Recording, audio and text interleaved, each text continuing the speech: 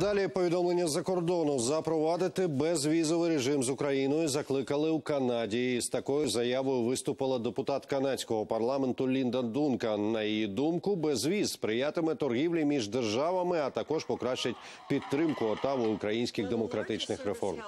Щоби отримати безвізовий режим, Київ має видавати безпечні документи для подорожей, ефективно контролювати кордони і співпрацювати з міжнародним співтовариством щодо безпекових міграційних питань. Про це заявив канадський міністр еміграції Ахмед Хусен. Уже 31 жовтня до Отави поїде український прем'єр Володимир Гройсман із канадським колегою Джастіном Трюдо. Він обговорить питання поглиблення українсько-канадської співпраці.